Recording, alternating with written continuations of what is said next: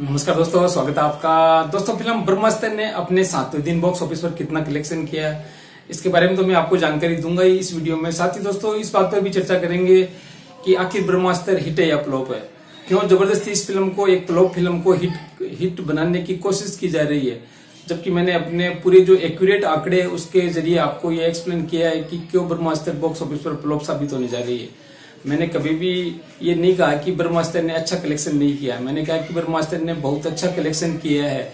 और 2022 में जितने भी बॉलीवुड की मूवीज़ हुई है मतलब कि कश्मीर फाइल्स को आप छोड़ दीजिए। कश्मीर फाइल्स को मैं बॉलीवुड की मूवीज़ मानता नहीं एक्चुअली क्योंकि उसमें न तो कोई बॉलीवुड की बड़ी स्टार कास्ट है और ना ही बॉलीवुड ने उस फ़िल्म को सपोर्ट किया था। तो बाकी सभी फ़िल्मों से मतलब कि इस फ़िल्म ने बहुत अच्छा कलेक्शन किया मैंने अपने वीडियो में ये बात बार बार कही है। लेकिन दोस्तों फ़िल्म का बजट काफ़ी अधिक आप भी जानते हैं, चार सौ दस करोड़ रुपए फ़िल्म का बजट है, जो कि अब तक के कलेक्शन को देखते हुए किसी भी हालत में पूरा नहीं होने वाला है। तो इसी के बारे में बात करेंगे आज के वीडियो में। तो दोस्तों, कल ब्रह्मास्त्र का कलेक्शन करीब आठ करोड़ रुपए के आसपास है इंडिया नेट कलेक्शन सभी भाषाओं को मिला करके जबकि आप जानते हैं कि परसों इसका कलेक्शन करीब साढ़े दस करोड़ रुपए रहा था। तो लगातार फ़िल्म का कलेक्शन ड्रॉप हो रहा है। लगातार सोमवार के बाद में, सोमवार को फ़िल्म का कलेक्शन साढ़े सोलह करोड़ रुपए था, जो कि गुरुवार आते आते साढ़े आठ करोड़, आठ से साढ़े आठ करोड़ रुपए रह गए तो आप देख लीजिए, लगातार दो से ढाई करोड़ रुपए का फ़िल्म के कलेक्शन में ड्रॉप आ रहा है। और फ़िल्म जितना भी कलेक्शन कर रही है, वो ज़्यादातर जो नेशनल थिएटर चेन है, चाहे वो आईनॉक्स हो या जो पीवीआर हो या सिनेपोल हो, वहाँ से ज़्यादातर कलेक्शन आ रहा है। हाँ आईमैक्स वर्जन का भी फ़िल्म का अच्छा कर रहा है थ्री वर्जन है, वो अच्छा कर रहा है फ़िल्म का।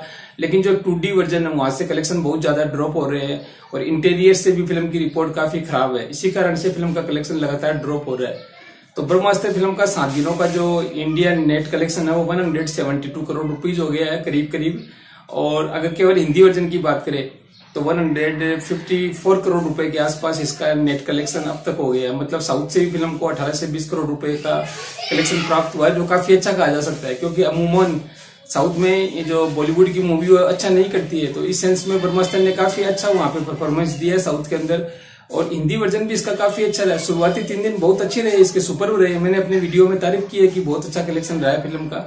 तो 172 करोड़ रुपीज़ इसका कलेक्शन हो गया है। अगर वर्ल्ड वाइड ग्रोस कलेक्शन की बात करें तो 290 से 295 करोड़ रुपए के आसपास इसका कलेक्शन हो गया है। इस फ़िल्म का अगर सात दिनों के वर्ल्ड वाइड ग्रोस कलेक्शन की बात करें और आज ये फ़िल्म करीब 300 करोड़ रुपए को पार कर जाएगी वर्ल्ड वाइड ग्रोस कलेक्शन के मामले में।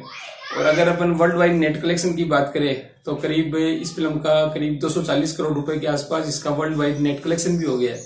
तो दोस्तों, इतना कलेक्शन मिलने के बावजूद मैं फ़िल्म को फ्लॉप क्यों बोल रहा हूँ? इसका मैंने कई कारण आपको बताए हैं, क्योंकि फ़िल्म का बजट 410 करोड़ रुपए है। कम से कम बता रहा हूँ 410 करोड़ रुपए और फ़िल्म को हिट होने के लिए कम से कम 500 करोड़ रुपए का नेट कलेक्शन करना पड़ेगा। अब कुछ लोग हैं, वो फ़िल्म को हिट करने के लिए कई तरह की दलील दे रहे हैं कि world wide gross collection 300 crore रुपए हो गया है। तो फ़िल्म 200 करोड़ और कर लेगी हिट हो जाएगी। तो मैंने पहले बताया कि वर्ल्ड वाइड ग्रोस कलेक्शन से फ़िल्म हिट नहीं होती है। फ़िल्म हिट होती है नेट कलेक्शन से डिस्ट्रीब्यूटर प्रॉफिट के आधार पर फ़िल्म को हिट या फ्लॉप कहा जाता है, न कि वर्ल्ड वाइड ग्रोस कलेक्शन से।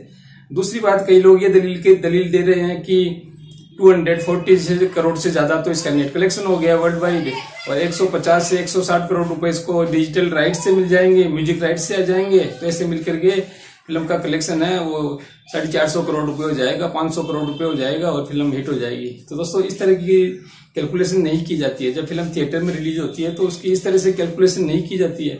अगर आप इस तरीके से कैलकुलेशन करोगे तो फिर लाल सिंह चड्डा तथा रक्षाबंधन भी हिट फ़िल्म है। कैसे है? लाल सिंह चड्डा का जो नेट कलेक्शन आया इंडिया से, वो करीब साठ करोड़ रुपए से कुछ अधिक रहा होगा, आसपास रहा है उसके। और कम से कम 25 से 30 करोड़ रुपए वर्ल्ड वाइड इसका कलेक्शन आया ओवरसीज से कलेक्शन आया तो 90 करोड़ हो गए। और 90 करोड़ में इसके जो डिजिटल राइट्स है, वो बेचे गए हैं। तो 180 करोड़ रुपीज़ हो गया, लाल सिंह चड्डा का भी, और उसका बजट भी 180 करोड़ रुपए है तो इसके हिसाब से तो लाल सिंह चड्डा ने भी अपना बजट कवर कर लिया। और उस फ़िल्म को भी आप एवरेज कह सकते हो हिट कह सकते हो। यही हाल रक्षाबंधन का है। तो अगर आप इस तरीके से कंपेयर करोगे, अगर इस कलेक्शन को ऐड करोगे तो फिर तो कोई भी फ़िल्म फ्लॉप नहीं होगी। क्योंकि ओटीटी राइट से आजकल पैसे मिल जाते हैं प्रोड्यूसर्स को। तो ऐसे कंपेयर नहीं होते। जब किसी फ़िल्म को थिएटर में रिलीज़ की जाती है तो फिर दोस्तों थिएटर का ही कलेक्शन देखा जाता है और वो भी नेट कलेक्शन कि डिस्ट्रीब्यूटर्स को कितना प्रॉफिट इस फ़िल्म से हो रहा है। तभी फ़िल्म को हिट कहा जाता है। तो मैं जब ये कह रहा हूँ कि फ़िल्म अभी तक हिट नहीं हुई है फ्लॉप ही हो रही है और हिट होने की कोई संभावना नहीं है, क्योंकि हिट होने के लिए फ़िल्म को अभी भी ढाई करोड़ रुपए का नेट कलेक्शन करना होगा। वर्ल्ड वाइड ढाई सौ करोड़ रुपए का नेट कलेक्शन और करना होगा, जो किसी भी हालात में संभव नहीं लगता है। अगर कोई चमत्कारी हो जाए, और आप जानते हैं चमत्कार रोज रोज नहीं होते, चमत्कार कभी कभार ही होते हैं तो ये पॉसिबल नहीं है कि ब्रह्मास्त्र 500 करोड़ रुपए का नेट कलेक्शन वर्ल्ड वाइड कर ले, तभी ये फ़िल्म हिट हो सकती है। मुझे कोई ब्रह्मास्त्र से एलर्जी नहीं है, मुझे कोई ब्रह्मास्त्र से दुश्मनी नहीं है। मैं भी चाहता हूँ कि फ़िल्म चले, लेकिन मेरा काम है, मेरा चैनल है रिस्पॉन्सिबल चैनल है, जिम्मेदार चैनल है और मेरी जानकारी जो होती है, वो सटीक होती है एक्यूरेट होती है तो मैं आपको एक्यूरेट जानकारी दे रहा हूँ।